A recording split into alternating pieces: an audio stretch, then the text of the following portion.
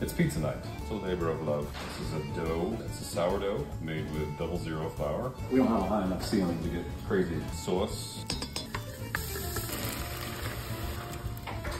Mozzarella ricotta. Do not use the pre-shredded stuff. It's full of pencil shavings or something. Pepperoni, pepperoncinis, and mushrooms. I want to get some sauce too. Cheese on the floor. Why don't I just put one pepperoni right in the middle? One pepperoni right in the middle. That sounds like a plan. Because it's like 900 degrees in there. No, I need a little bit more to spread it out. Yeah, that's good. Okay. Would you like some pepperonis?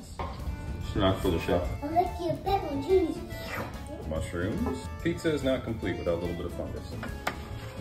890. Yeah, it's hot.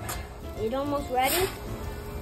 Sometimes you win, sometimes you burn the hell out of your pizza. Did you burn the hell out of your pizza?